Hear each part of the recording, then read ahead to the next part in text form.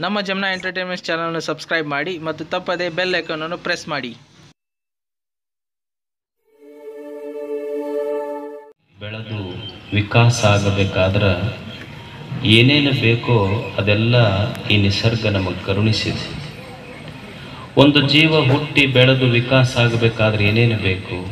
ಅನ್ನ ಬೇಕು, ನೀರು ಬೇಕು, ಗಾಳಿ ಬೇಕು, ಅದನ್ನೆಲ್ಲ ಈ ಭೂಮಿ ತಾಯಿ ನಮಗೆ ಕರುಣಿಸಿದಾಳೆ.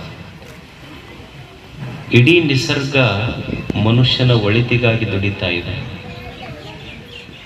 ಭೂಮಿ ಬಿಟ್ಟರೆ ನೀವೆಲ್ಲ ಓದಿರಿ, ಮೊನ್ನೆ ಮಂಗಳಕ್ಕೆ ಹೋಗಿ ಬಂದರು. ಇಲ್ಲಿಂದ ನೀರ ಗಾಳಿ ಕಟ್ಕೊಂಡು ಹೋಗಿದ್ರು ಅವರೆಲ್ಲ.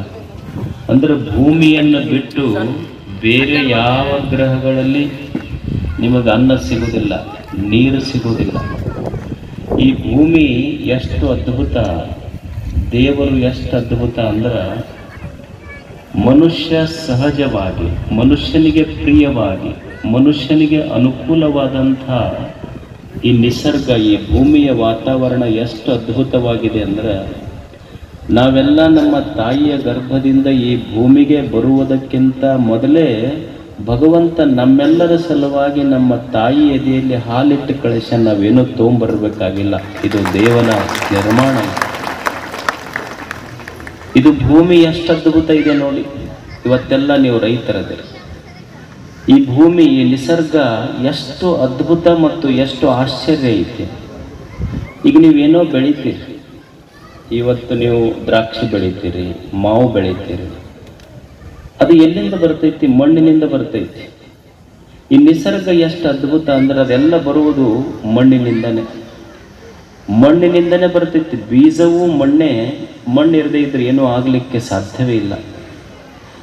ಬೀಜವೂ ಮಣ್ಣಿನಿಂದ ಬರ್ತೈತಿ ಅಂದ್ರೆ ಬೀಜವೂ ಮಣ್ಣೆ. ಸಸಿ ಆಗ್ತೈತಲ್ಲ, ಆ ಸಸಿಯೂ ಮಣ್ಣೆ. ಮುಂದೆ ಮರ ಆಗ್ತೈತಲ್ಲ, ಆ ಮರವೂ ಮಣ್ಣೆ. ನೀವು ಹಣ್ಣು ತಿಂತೀರಲ್ಲ, ಅದು ಮಣ್ಣೆ. ಆದ್ರೆ ಹಣ್ಣು ತಿಂದ್ರೆ ಮಣ್ಣು ತಿಂದಂಗೆ ಆಗೋದಲ್ಲ ಮಣ್ಣು ಬಿಟ್ಟರೆ ಹಣ್ಣಿಲ್ಲ, ಇದು ನಿಸರ್ಗದ ವೈಶಿಷ್ಟ್ಯ. ಈ ನಿಸರ್ಗ ಮನುಷ್ಯನಿಗೆ ಪ್ರತಿಕೂಲವಾಗಿದೆ. ನೀವೆಲ್ಲ ರೈತರದಿರಿ ಆಕಳ ಸಾಕಿರಿ ನೀವು ನೋಡ್ರಿ ಆಕಳಿದೆ. ನೀವು ಆಕಳಿಗೆ ಏನು ಹಾಕಿರಿ ಬೆಳಿಗ್ಗೆ ಬೆಳಿಗ್ಗೆದ್ದು ಬೆಳಿಗ್ಗೆ ಎದ್ದು ನಾವು ಉಂಡು ಮುಸುರಿ ನೀರು ಹಾಕಿವಿ ಆಕಳಿಗೆ. ಹೌದಲ್ಲ ನಮ್ಮ ಮುಸುರಿ ನೀರು ಕುಡ್ದ ಆಕಳಂತೈತೆ ಮನುಷ್ಯನಿಗೆ. ಮನುಷ್ಯನೇ ನೀನು ನನಗೆ ಹಾಕಿದ್ದು ಮುಸುರಿ ನೀರ, ಆದರೆ ನಾನು ನಿನಗೆ ಕೊಡುವುದು ನೀ ಪೂಜಿಸುವ ದೇವರಿಗೆ ಅಭಿಷೇಕ ಆಗಬೇಕು ಅಂತ ಹಾಲು ಕೊಡುತ್ತೆ ನಿನಗಂತ ಆಕಳು ಹೇಳಬೇಕು ಮನುಷ್ಯನಿಗೆ